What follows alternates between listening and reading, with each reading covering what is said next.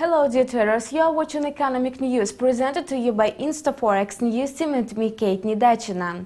The final data on economic growth in Japan exceeded the last year reading, uh, beating the forecast. According to the information provided, Japan's GDP remained flat compared with the previous quarter, while the annual reading inched up 0.5%. The analysts forecasted another 0.1% drop. Such news is indicative of economic recovery which is supported by public investments into fixed capital stock of new enterprises and increase in private spending.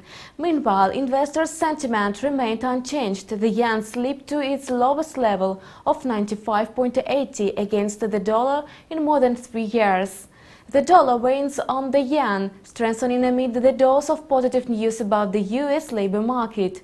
Jobless claims hit the history low of six months. It was InstaForex News and me, Kate Nidachina. Bye.